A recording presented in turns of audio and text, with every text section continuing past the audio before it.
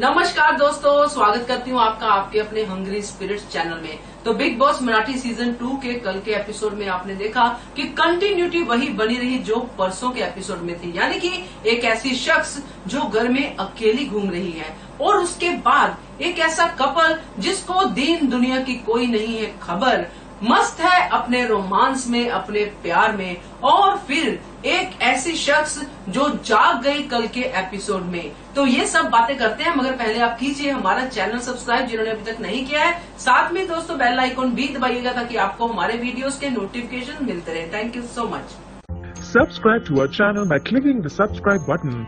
Click the bell button and enjoy the latest uploads from our channel. तो दोस्तों, जैसे कि आपने देखा एपिसोड जो शुरू होता है, वो हिना हिना हिना हिना ही हो रहा है कल के एपिसोड में शुरू से लेके काफ़ी आगे तक। तो ये हिना का ऐसा क्या हो रहा है घर के अंदर, ये हमें समझना पड़ेगा। क्योंकि हिना एक ऐसी कंटेस्टेंट है घर के अंदर, जो हर बंदे से पंगा ले रही है।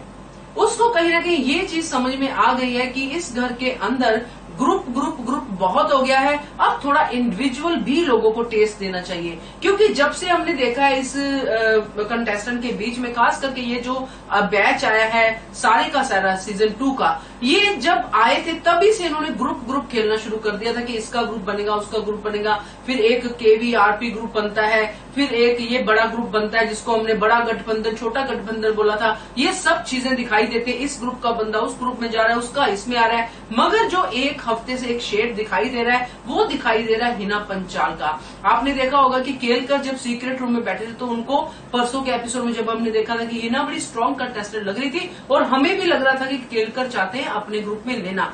मगर हिना का जो पलटा होता है, वो पता नहीं कैसे हो जाता है। वो हिना उस ग्रुप में भी बैठती है, बातें करती है। ऐसा लगता है जैसे उस ग्रुप की मेंबर है। मगर फिर उस ग्रुप के बंदों से भी लड़ाई उसकी शुरू हो जाती है। यानी कि हिना ने सोच लिया है कि वो खेलेगी इंडिविजुअली और देखेगी कि क्या होता है, क्या नहीं होता है। और फिर अपना, उस हिसाब से अपना जो है, वो दाव खेलेगी। तो ऐसा मुझे हिना की पर्सनैलिटी से लग रहा है। दोस्तों, आपको क्या लगता है? आपके कमेंट से मुझे पता चली जाएगा।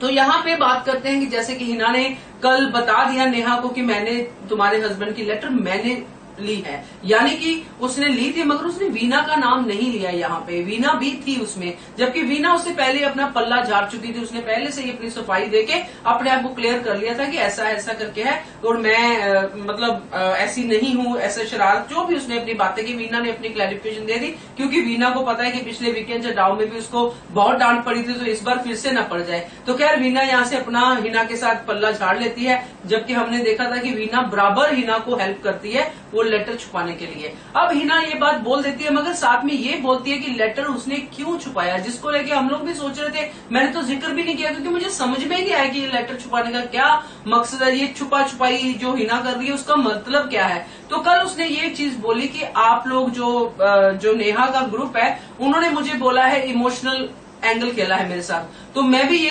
दिखाना चाहती हूँ कि आप लोगों के इमोशंस से भी मैं खेलना चाहती हूँ। आप मेरे से खेले हो, मैं आपके इमोशन से खेलना चाहती हूँ। तो एक तरह से इमोशन इमोशन का ये कार्ड जो है खेला जाता है। अब नेहा यहाँ पे मस्त है, वो बोलती, कोई प्रॉब्लम नहीं है, तूने रख लिया रख लिया, मुझे ये छोटे मुद्दों में मुझे बात नहीं करनी है। नेहा का क्लियर कट फंडा है, वो इवन फ़ोटो भी छुपा देती है ना तब भी वो कुछ नहीं करती है। अब यहाँ पे शिवानी जो है, जो आई है, नई नई, यानी कि री एंट्री में नई नई, अब वो बहुत ही चिंतित है अपने को लेके अपने ग्रुप की हर बात का ध्यान रखना, बदला लेना या उसके काउंटर में डायलॉग बोलना, वो सब शिवानी कर रही है। अब शिवानी भी हिना की चीज़ें छुपा देती है। उसका मेकअप का, उसकी मम्मी की साड़ी, वो सब चीज़ें छुपा देती है। अब हिना जो है, वो इमोशनली अंदर से तो हर्ट है, दिखती है बट वो इतनी स्ट्रांग है कि वो फिर भी अपनी फाइट लड़ती रहती है। फिर भी शिवानी से बहस करती है, इवन नेहा से भी बहस करती है। माधव तो उसके पीछे पड़ा हुआ है, जैसे कि आपने कल सुना ज़ुबान खींच लूँगा वो हाथ में वो लेके जो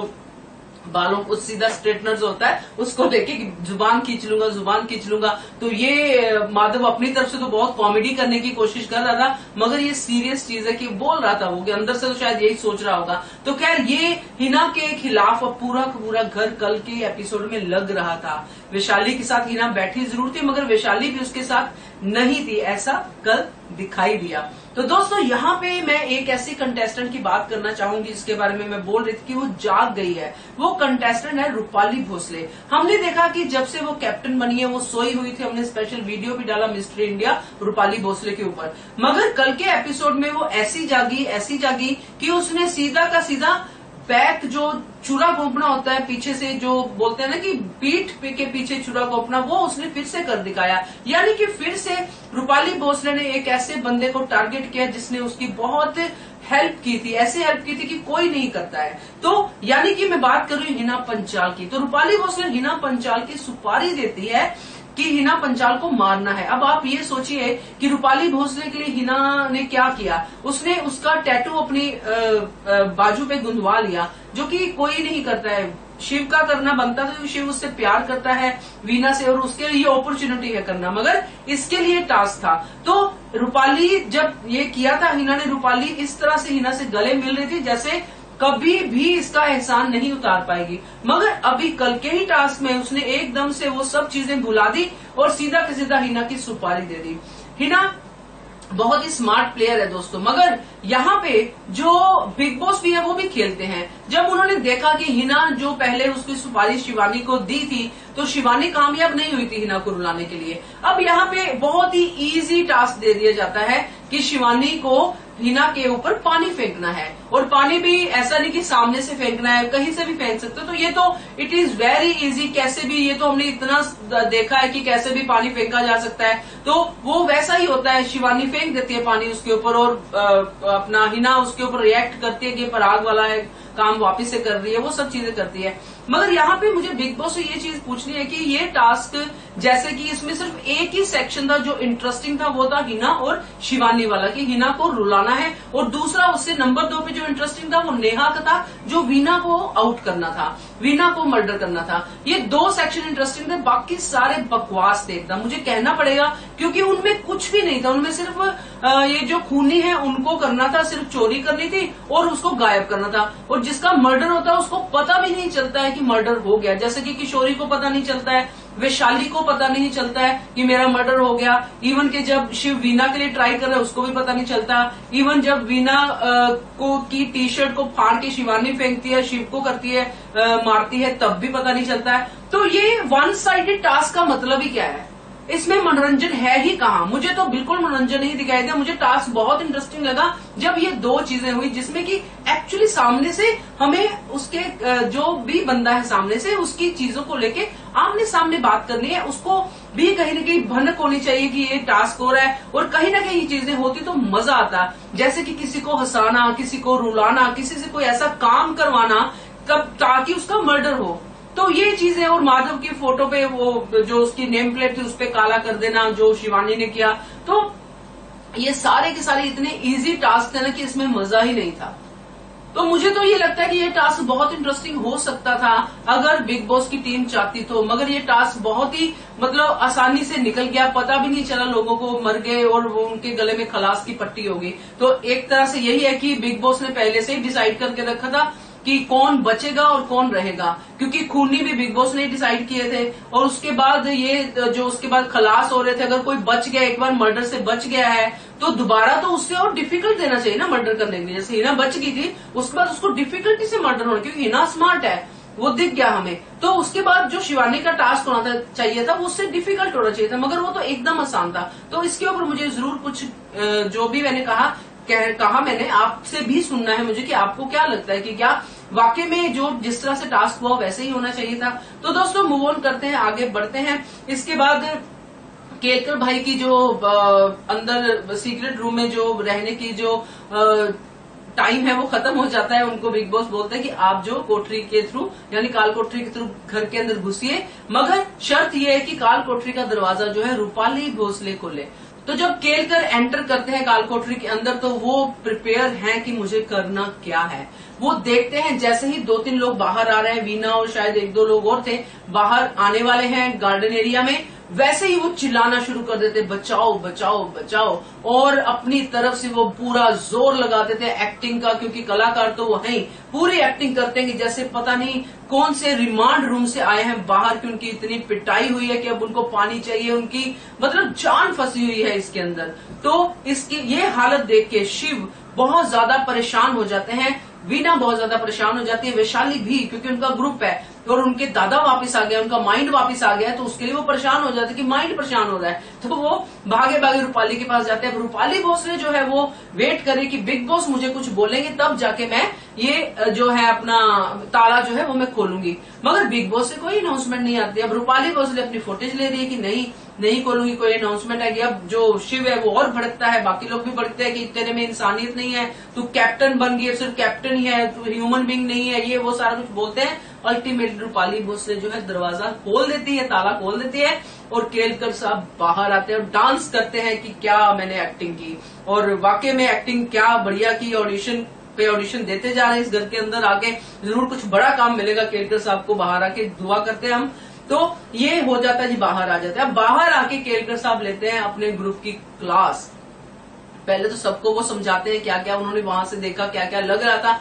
अंदर आके जब अपने ग्रुप के साथ बैठे होते तब वो क्लास लेते हैं और वो प्रेज करते हैं किशोरी की यहाँ पे ये बड़ा पॉइंट है दोस्तों कि किशोरी की आज तक केलकर के मुझसे प्रेज नहीं सुनी है। वो अगेंस्ट ही रहे हैं। तो यहाँ पे प्रेज करते कि कैसे वो ग्रुप टास्क खेल रहा है कितनी आ, उनके अंदर एनर्जी है टास्क खेलने की जो आप लोग सुस्त आलसी लोग हो। आप लोग तो कुछ कर ही नहीं रहे हो। और वो यहाँ पे बिल्कुल सही बोल रहा है केलकर कि उसने क्योंकि वहाँ से देखा है कि ये कुछ नहीं कर रहे। अब केलकर को क्या पता कि ये तो आपके हिसाब से ही चलने वाले लोग हैं। अगर आप अंदर हो तो ये कैसे चलेंगे? कैसे अपने काम करेंगे? वैशाली ले लो इवन वीना शिव भी, सब लोग, आपके इंसान तो चलते हैं, अब आप नहीं थे तो ये कैसे काम करते? ये केलकर साहब को एहसास नहीं हुआ। मगर अब जब केलकर आ गए, उन्होंने काफ़ी क्लास ली, ये लोग हंस भी रहे थे, कर भी रहे थे बट एक तरह से इन्होंने केलकर ने अपने तरफ़ से क्लियर कर दिया कि आप लोग वीक हो और वो लोग स्ट्रांग हैं। तो अब ये केरकर को पता चल गया है। अब देखते हैं आगे ये केरकर साहब कैसे इनको स्ट्रांग करते हैं, कैसे करते हैं, ये देखने वाली बात होगी। तो फ़िलहाल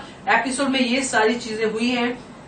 और यहाँ पे शिवानी की जो बातें हैं, वो भी बहुत अच्छे से सामने आई है कि किस तरह से शिवानी ने चीज़ें की हैं घर के अंदर, कैसे उसने माधव को आउट किया, कैसे उसने अच्छे से टास्क खेला, ज़रूर प्रेस करनी पड़ेगी, क्योंकि मुझे लगा कि कहीं ना कहीं वो माधव को कंटेंडर बनाने की कोशिश करेगी, कि वो कैप्टनशिप का दावेदार बने, इसलिए वो मर्डर नहीं करेगी, क्योंकि यहाँ पे मर्डर इस तरह से करना था कि जो पहले कर दे, नेहा और शिवानी के बीच में, क्योंकि ये सुपारी जो रूपाली और माधव की थी, वो डायरेक्ट बिग बॉस ने दी थी। तो इन दोनों में से किसका मर्डर पहले होगा? तो जब शिवानी थोड़ा वेट कर सकती थी, मगर शिवानी ने अपना टास्क बहुत ही ईमानदारी से खेला और अपने ही फ्रेंड को फास्ट फ्रेंड को आउट कर दिया मर्डर कर दिया। तो दोस्तों, इस तरह से ये टास्क हुआ। एंड में कबड्डी का मैच भी खेला गया, जो कि प्रमोशन था।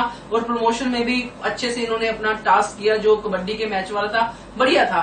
तो लास्ट में यही कहूँगी कि इस पूरे के पूरे कल के एपिसोड में हिना ने पूरी कोशिश की है लोगों को अपने तरफ़ खींचने की सेंटर ऑफ़ अट्रैक्शन बनने की, सब लोगों को अपने खिलाफ करने की। रूपाली भोसले का मैंने बता ही दिया कि वो अगेन उसने एक और शख्स को बीट के पीछे छुरी घोंप दी है और शिव और वीना अपने प्यार से अभी तक जूझ रहे हैं, कर रहे हैं और किसी और चीज़ की तरफ़ ध्यान नहीं दे रहे हैं। ये भी हमने आज देख लिया। और सबसे इम्पोर्टेंट चीज़ जो हमने आपसे बात नहीं की, वो ये है कि जो हमने कल के रिव्यू में बोला था कि अगर वीना को पता चलेगा कि शिव ने ऐसा किया है टास्क नहीं किया है तो वीना ज़रूर उसके ऊपर भड़केगी। और वीना भड़की। ना सिर्फ़ इस चीज़ पे भड़की कि शिव ने टास्क नहीं किया, बल्कि इस चीज़ पे भी भड़की जो नेहा ने डांस करने के लिए बोला था तो उस पर भी उसने शिव को बहुत बुरी तरह से डांटा।